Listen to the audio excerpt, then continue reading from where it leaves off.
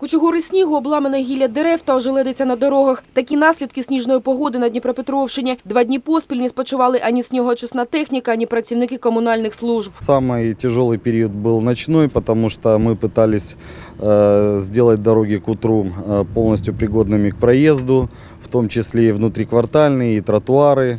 Э, но непрекращающийся снег как бы не давал это сделать.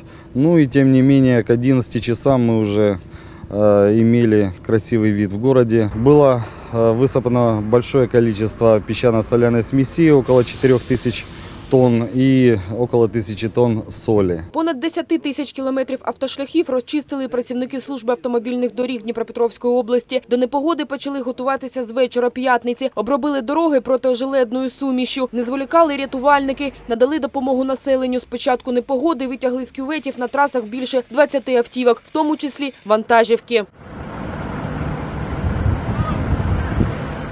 Задіяно 106 106 одиниць техніки на автомобільних дорогах загального користування державного значення.